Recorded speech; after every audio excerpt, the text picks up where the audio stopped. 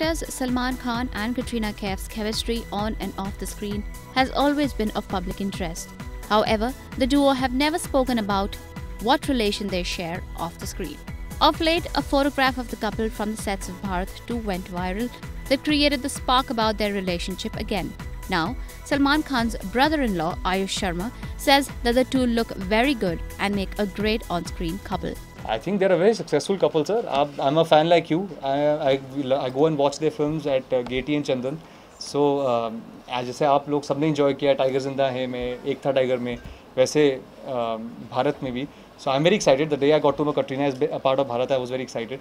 I can't wait to see them uh, both on screen again. I think they look very good on screen.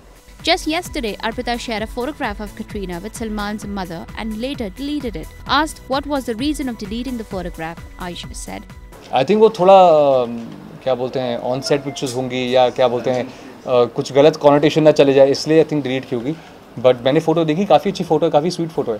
Well we don't know what exactly is going on between Salman and Katrina but we thoroughly enjoy their pairing on screen beat in Tiger Zinda Hai और एक था tiger और now in Bharat